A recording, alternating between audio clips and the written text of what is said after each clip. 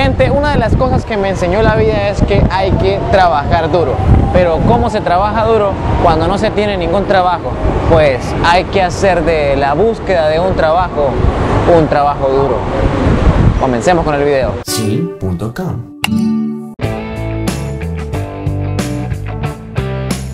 Bienvenidos a Buenos Aires, gente, una de las ciudades más importantes de América, en donde viven prácticamente 3 millones de personas. Y si usted quiere ser parte de esas 3 millones de personas que hacen vida acá, necesita una cosa, una cosa que logrará moverse con toda libertad por cualquier parte de esta ciudad. Y pues, ¿qué es esa cosa que nos ayuda a movilizarnos por todos lados? Pues es el dinero. Estar sin dinero en una ciudad como esta es como pararse enfrente de la montaña rusa sin el brazalete para poder ingresar. Es como ver toda la diversión desde afuera. Gente, diciendo el caso de que lleguemos y que no tengamos ni un centavo, no tengamos nada que hacer, qué hacer para conseguir dinero, que los dineros serían como los cupones de este parque de atracciones mecánicas llamada ciudad. La opción más sensata y más honrada, más honesta sería conseguir un empleo.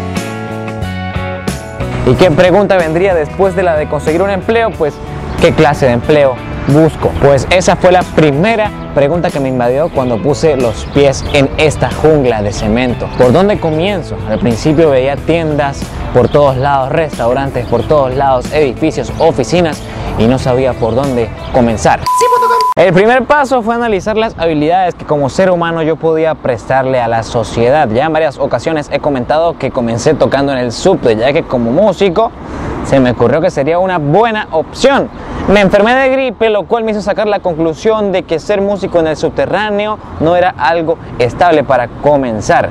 Entonces dije, bueno, soy músico, podría trabajar en una tienda de música. Entonces focalicé todas esas energías para poder pedir trabajo en una tienda de música. Y fue así gente como diseñamos nuestros primeros currículums. Imprimimos un montón en una librería y luego decidimos irnos aguerridos a la calle Talcahuano, la calle de Buenos Aires donde queda el Music Town, donde hay muchas tiendas de música aglomeradas en un solo punto.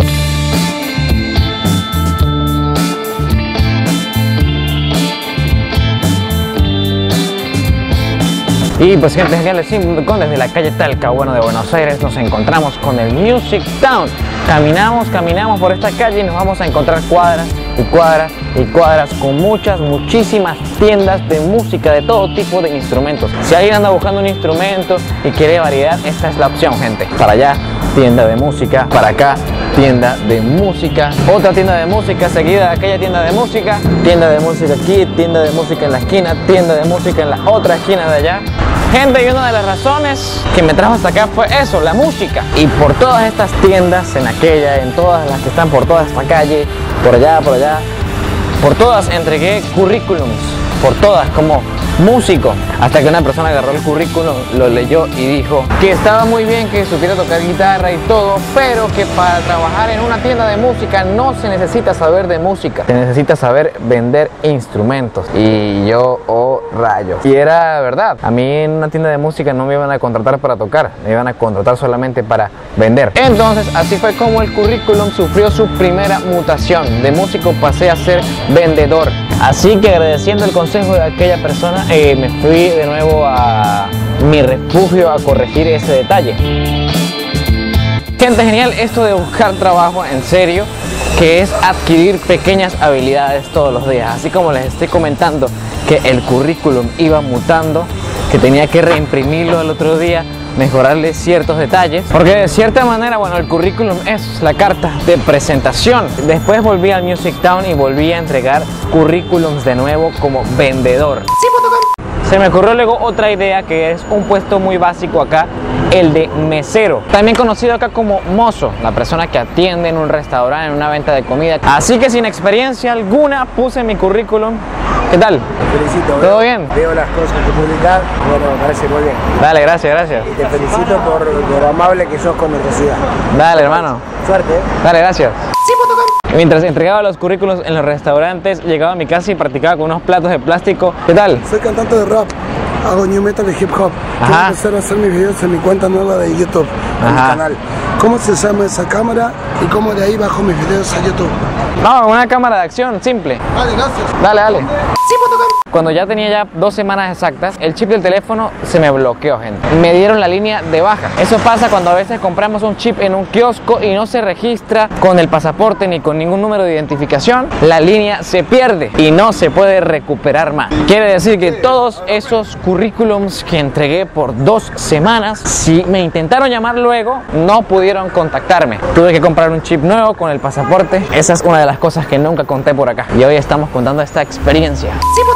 Gente, ¿y qué otra opción es más abundante aparte de ser mesero o aparte de ser vendedor en una tienda de música?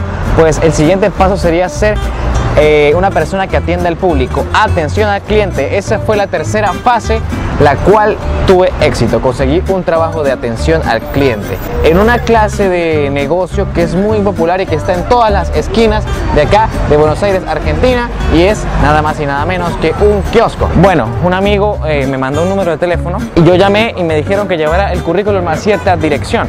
Me acababan de bloquear el chip y estaba haciendo currículums otra vez con el nuevo número de teléfono Voy y entrego el currículum al sitio en que me dijeron y luego me llaman al otro día que vaya y me presente para una entrevista. La primera entrevista de trabajo acá en Buenos Aires, Argentina. Con altas expectativas. Cuando llegué a la entrevista me preguntaron que si tomaba licor, que si tenía tatuajes, que si tenía hijos. Solamente respondía sí, no, no, sí, no.